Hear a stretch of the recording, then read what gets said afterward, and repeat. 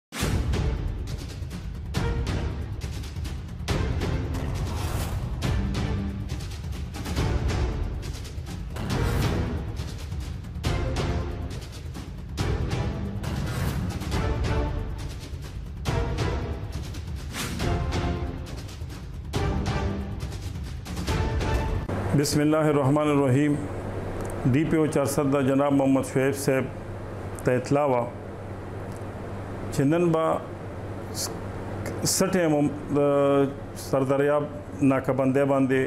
د موټر په ذریعہ باندې اسلحه پنجاب ته سمګل کی د سلسله کې مونږه پراپر ناکبندی کړې و او ایس ایچ او سیټي او مجیب خان ته هدایات و چې ناکبندی دی بالکل ټیټ او کړی نگرانه کی سلګ وخت پس موټر کار برنګ سلور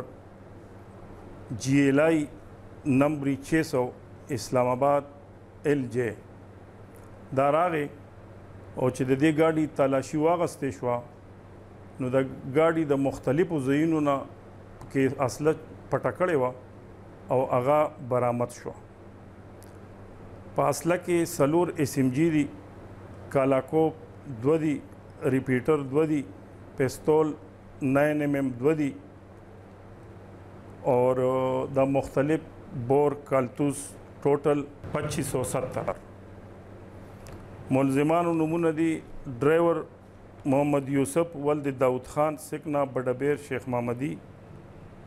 او د ده بل مرګری شبیر خان ولد منیب خان سکنه شیخ محمدي بډبیر دا ګرفتار دي.